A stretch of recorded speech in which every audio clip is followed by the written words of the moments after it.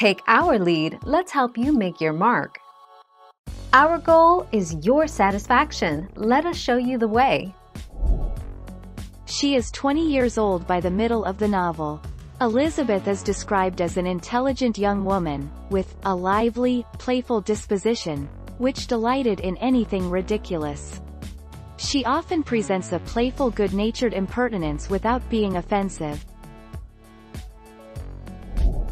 Thank you for watching. Please subscribe and hit the bell notification.